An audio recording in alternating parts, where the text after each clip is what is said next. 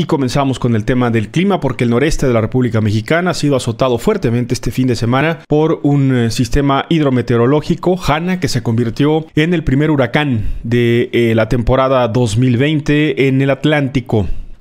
Comenzó como una tormenta tropical, una depresión tropical, se convirtió en tormenta tropical y para el fin de semana, como se esperaba, pegó en el sur de Texas y el norte, noreste de la República Mexicana.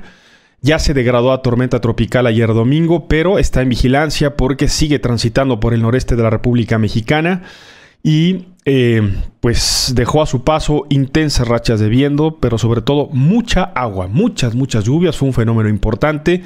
Alcanzó, alcanzó categoría 1, así entró a tierra como huracán categoría 1, desarrolló muy rápido, un poderío importante.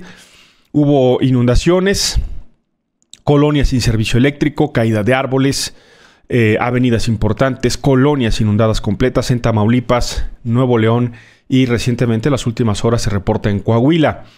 Eh, una de las ciudades más afectadas por Hanna fue Reynosa en Tamaulipas, de las primeras que en el sábado registró inundaciones de mayor severidad. El Hospital Materno Infantil de Reynosa, que se ubica en la carretera Reynosa-Monterrey, resultó con inundaciones. Fue necesario resguardar a los pacientes, colocar costales de arena y evitar que los contactos de energía eléctrica y aparatos hicieran contacto con el agua para evitar los cortocircuitos. En Monterrey también pues hubo afectaciones importantes. El río Santa Catarina, ese que atraviesa buena parte de, Monterrey, la zona eh, metropolitana tuvo eh, importantes inundaciones. Las avenidas más importantes de Monterrey registraron, pero verdaderas inundaciones desde el sábado por la tarde-noche y el domingo por la mañana. Ha sido una, una jornada muy compleja. La depresión tropical Hanna ya, depresión tropical, se degradó, ha dejado a su paso, le digo, estas severas inundaciones en el noreste de la República Mexicana. Este domingo la Secretaría de la Defensa Nacional desplegó el plan DN3E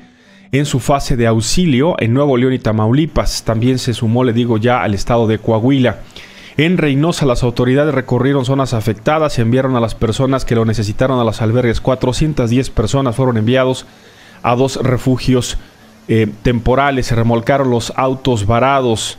Al menos 80 colonias en Reynosa resultaron inundadas. Hay miles de personas sin energía eléctrica y están trabajando las cuadrillas de la Comisión Federal de Electricidad en la zona. En Nuevo León, los municipios de Salinas, Victoria, Escobedo y la zona metropolitana de Monterrey llegaron a 187 elementos del ejército en 20 vehículos militares para brindar eh, labores de apoyo y ayuda a la gente que registró inundaciones y daños. 709 personas en Monterrey fueron evacuadas, Monterrey y zona conurbada. Se reportó el desbordamiento del río Pesquería, fueron evacuadas 30 familias, 40 personas se canalizaron a refugios temporales. En Coahuila, la tormenta tropical Hanna colapsó algunos municipios, caminos y tramos carreteros, ha dejado inundaciones, socavones y al menos tres personas desaparecidas quienes fueron arrastradas por la fuente del el arroyo El Saucillo en la zona norte de Saltillo.